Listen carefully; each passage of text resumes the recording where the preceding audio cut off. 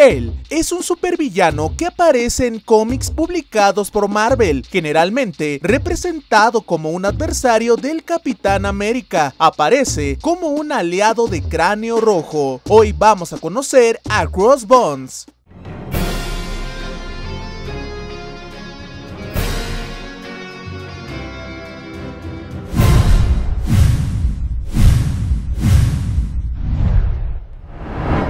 La primera aparición de Crossbones fue en Bloodstone's Captain America en octubre de 1989 por Tom DeFalco. Como mercenario, Romlo fue enviado a invadir el castillo en Suiza de Armin Sola. En definitiva, él fue el único miembro del equipo en sobrevivir al asalto. Romlo allí conoció e impresionó al cráneo rojo nazi original, Johann Smith. Con esto, él aceptó los servicios de Brock, dándole el código de nombre Crossbones. Crossbones a lo largo de los años se ha convertido en un miembro del nuevo equipo de Thunderbolts. Los agentes del gobierno que trabajan con Luke Cage agregaron a Crossbones al equipo sabiendo que no puede ser reformado con la esperanza de que sus métodos extremos alejarían a los otros miembros de los Thunderbolts y empujarlos a la rehabilitación.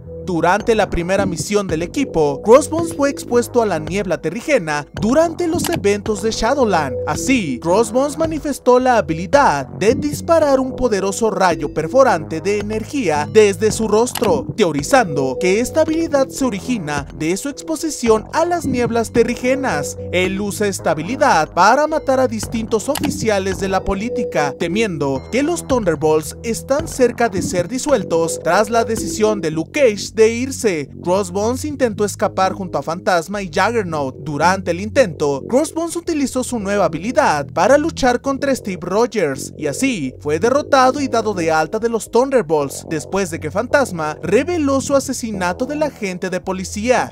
Crossbones aparece encarcelado en una celda colchada llevando una camisa de fuerza. Al parecer, ya no es capaz de usar su rayo de energía. Tiempo más tarde, durante el evento de Civil War, el Capitán América y sus héroes antirregistro se rindieron ante Iron Man y sus héroes pro registro. Mientras era dirigido desde el juzgado federal, el Capitán América fue alcanzado por una bala en el hombro disparada por nada más y nada menos que Crossbones, que recibía órdenes de cráneo rojo. Crossbones intenta escapar en un helicóptero, pero fue perseguido por el halcón y el soldado del invierno. El soldado del invierno venció a Crossbones hasta la inconsciencia, mientras simplemente se rió del suceso. El halcón puso a Crossbones en custodia de Shield.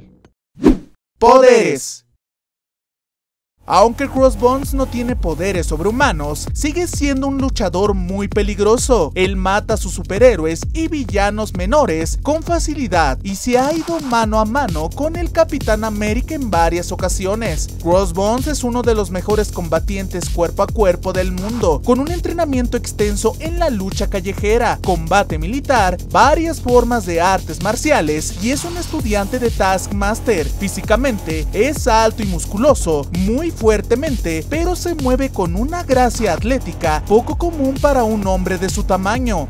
Él es un experto piloto y chofer, además es un experto tirador con pistolas, arcos y cuchillos arrojadizos. Crossbones por lo general se arma con un cuchillo de combate y una ballesta plegable pequeña. También tiene algo de experiencia en la tortura y lavado de cerebro. Crossbones fue expuesto a las nieblas terrigenas corrompidas durante una misión y poco después manifestó la habilidad de generar un círculo de energía frente a su rostro que podía disparar rayos de energía capaces de perforar y quemar a sus objetivos.